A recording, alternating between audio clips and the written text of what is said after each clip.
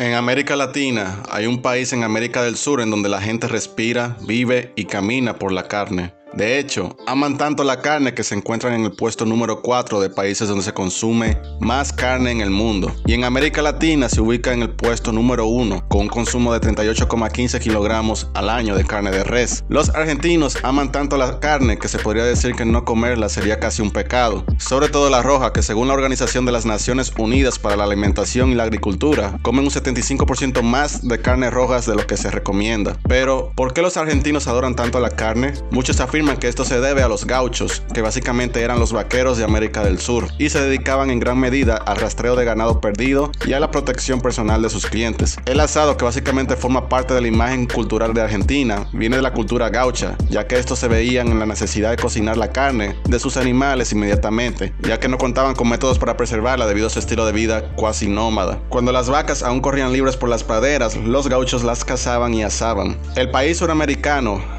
Argentina es el quinto productor y el cuarto exportador mundial de carne vacuna. Del total de la carne que se produce en Argentina, el 70% se consume localmente. Si bien el consumo interno viene cayendo hace rato, el argentino por un tema cultural se resiste a dejar de consumir carne y convalida los precios. Estas fueron las palabras de F. Diego Ponti, analista de mercados ganaderos de la consultora AZ Group. No es poco común que los políticos en Argentina hagan campañas políticas girando en torno al consumo de carne, una de las frases de campaña del presidente actual era volvamos al asado. No cabe duda que los argentinos adoran la carne.